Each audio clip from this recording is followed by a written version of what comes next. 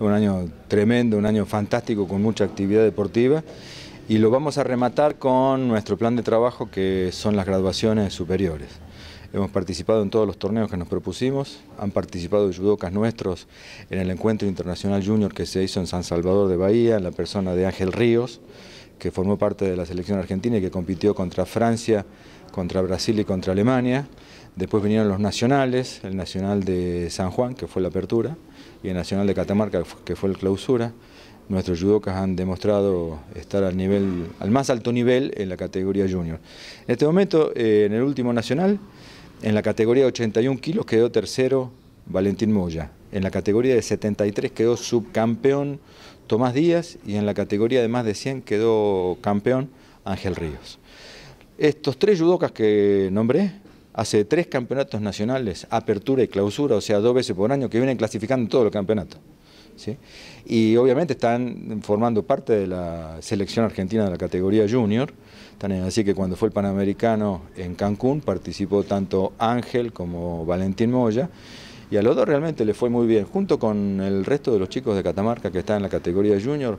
La categoría junior a nivel nacional en este momento tiene cinco judocas de la provincia de Catamarca. Y esto es un hecho muy, muy importante, muy para tener en cuenta. Por eso, cuando hablamos de alto rendimiento, tenemos que diferenciar entre la gente que practica deporte, los que son aficionados al deporte y los que realmente se están entrenando y con su capacidad, con su talento y con su desarrollo en el, en el entrenamiento técnico-táctico han llegado al alto nivel formando parte de la selección nacional o inclusive compitiendo en torneos internacionales. Bien, Daniel, o sea que es inexacto decir que ustedes forman parte de un comité olímpico. ¿Cómo sería eh, en realidad? La, verdad que la cuestión de nombres no es muy importante, ¿no? pero sería un grupo estratégico que ha creado la Secretaría de Deporte que está en formación en este momento.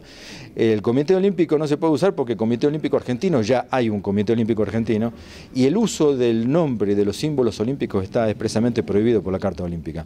Así que por una cuestión de nombres, digamos así, Comité de Desarrollo Estratégico o Comité Estratégico del Deporte de Alto Rendimiento de Catamarca, no, no, no interesa mucho el nombre, lo que importa es que son, somos un grupo de personas especialistas con resultados, con desarrollo, con, más que nada con trabajo estratégico, ¿no? que es la planificación para alcanzar unos logros en el caso del deporte federado. Y en este caso en particular sí se ha decidido darle importancia al deporte olímpico, después al deporte del programa panamericano, después al programa del deporte de los Juegos o de Sur y obviamente también en esa línea hay que eh, tratar de enhebrar una serie de acciones que partan de los Juegos Evita, los Juegos Atacalar, los Juegos Trasandinos de la Juventud, es decir, hay que hacer una serie de elementos para que los deportistas lleguen realmente a tener alto rendimiento y tener en cuenta las particularidades que tiene, porque el alto rendimiento es una cosa que se consigue y lo más duro es mantenerlo.